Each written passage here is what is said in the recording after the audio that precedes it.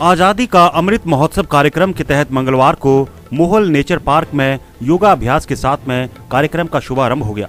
तो वहीं वॉलेंटियर के द्वारा भी व्यास नदी की सफ़ाई की गई। वहीं स्कूली बच्चों के बीच में चित्रकला प्रतियोगिता आयोजित की जा रही है। मोहल में वन विभाग के नेचर पार्क में जिला प्रशासन के द्वारा आज़ादी के अमृत महोत्सव के अवसर पर मेरी व्यास जीवन की आज कार्यक्रम आयोजित किया गया। इस कार्यक्रम के तहत मंगलवार शाम के समय ब्यास नदी के किनारे हज़ारों दिए जलाए जाएँगे और महाआरती कार्यक्रम का भी आयोजन किया जाएगा।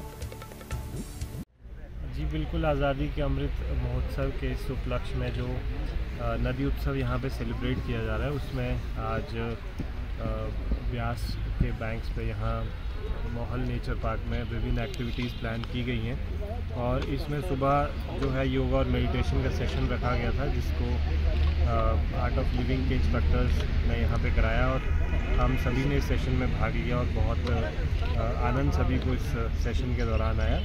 इसके अलावा आज यहाँ पे दिन भर में स्कूल के स्टूडेंट्स के साथ पेंटिंग कंपटीशन और नेचर वॉक और एफॉरेस्टेशन ड्राइव भी रखी गई है। और शाम को यहीं पे जो है वो दीपोत्सव का कार्यक्रम है, जिसमें माननीय शिक्षा मंत्री भी यहाँ पे हमारे बीच होंगे।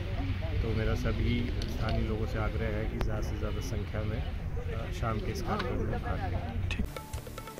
कुल्लू से दिव्य हिमाचल टीवी के लिए शालिनी राय भारद्वाज की रिपोर्ट।